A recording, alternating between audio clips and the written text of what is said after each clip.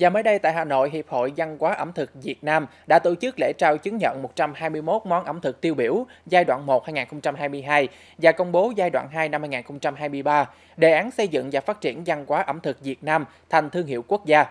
Giai đoạn 1 năm 2022, đề án nhận được 421 món ẩm thực được gửi đến từ 60 trong tổng số 63 tỉnh thành phố. Qua đó, Hiệp hội Văn hóa ẩm thực Việt Nam đã lựa chọn được 121 món ẩm thực tiêu biểu Việt Nam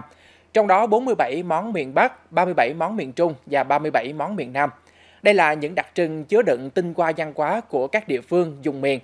Đề án xây dựng và phát triển văn hóa ẩm thực Việt Nam thành thương hiệu quốc gia giai đoạn 2022-2024 tiến hành khảo sát thu thập dữ liệu của văn hóa ẩm thực Việt Nam nhằm xây dựng tổng tập 1.000 món ẩm thực tiêu biểu Việt Nam và tiến hành chuyển đổi số cơ sở dữ liệu đó thành à, bản đồ trực tuyến ẩm thực Việt Nam, bảo tàng trực tuyến ẩm thực Việt Nam,